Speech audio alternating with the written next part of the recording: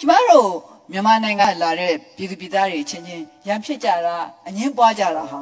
ဘာဖြစ်လို့လဲဆိုတာလေကျမခတ်တော်တော်ပဲပြောမယ်နော်မကြိုက်လို့ရှရင်လည်းမတတ်နိုင်ဘူးအဲ့ဒါကလေ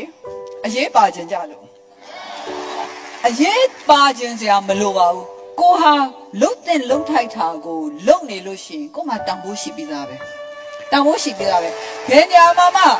ရှေ့တိုးနေဖို့မလိုဘူး လာအခုဆိုလို့ရှိရင်အဲကျွန်မအရှိတမ်းမှာထိုင်နေတဲ့သူတွေကိုလည်းဟိုးအနောက်တိုင်းတမ်းမှာထိုင်နေတဲ့သူတွေပို့ပြီးတော့တန်ဖိုးမထားပါဘူးကျွန်မပို့ပြီးတော့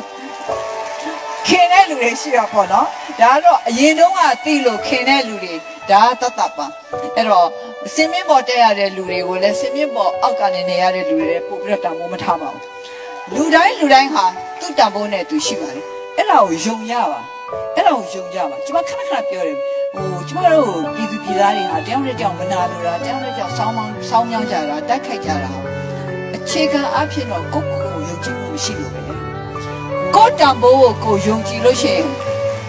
ဘယ်သူမှမနာလို့စရာအကြောင်းမရှိပါဘူးအဲ့တော့ကိုယ့်တန်ဖိုးကိုကိုယ်ယုံကြည်နိုင်အောင်လို့နေသွားကြပါကိုယ့်တန်ဖိုးကိုကိုယ်ယုံကြည်နိုင်အောင်လို့နေသွားကြပြီဆိုလို့ရှိရင်အချင်းချင်းတကယ့်ကိုညီညွတ်မှုရပါလိမ့်မယ်လို့ကျွန်မပြောချင်ပါတယ်